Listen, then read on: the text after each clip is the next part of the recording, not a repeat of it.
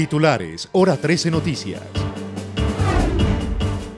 Capturan a alias Chimeneo, presunto encargado del narcotráfico del ELN en el norte de Antioquia.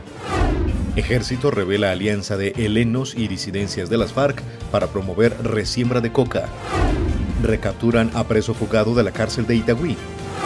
Normalizan servicio de agua para un millón de personas después de corte programado para modernizar planta de manantiales.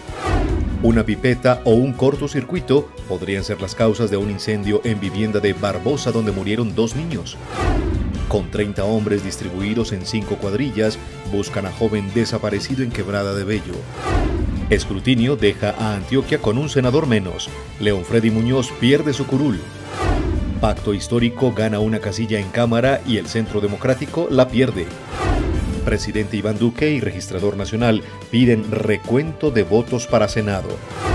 Analistas aseguran que el Consejo Nacional Electoral no puede autorizar el reconteo.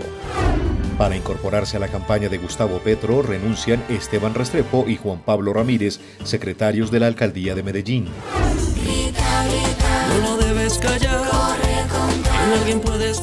Con una canción, Itagüí lanza campaña contra el abuso sexual infantil. La tradicional hacienda Mi Ranchito de Itagüí ahora es la sede de la Casa de las Mujeres. En septiembre entregarían factibilidad de doble calzada Marinilla Guatapé. Todos los fines de semana colapsa la movilidad.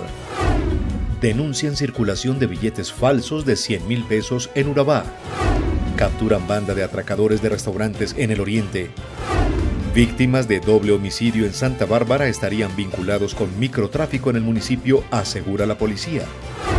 Atlético Nacional mostró dos caras ante el Deportivo Cali, debilidad con un 3-0 en contra y jerarquía para empatar 3-3.